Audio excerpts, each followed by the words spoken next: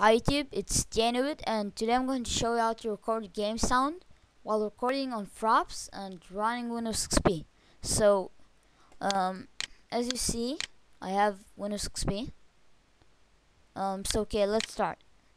Um, go to your volume options down here and double click it. Options, properties, and here in the mixer device, choose Realtek HD audio input and make sure that you chose all the things here and click on OK.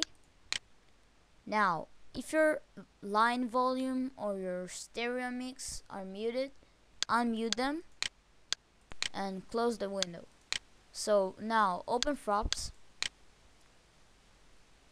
go to movies, um, choose record sound, use Windows input and here it is. So thanks for watching. Subscribe. Bye.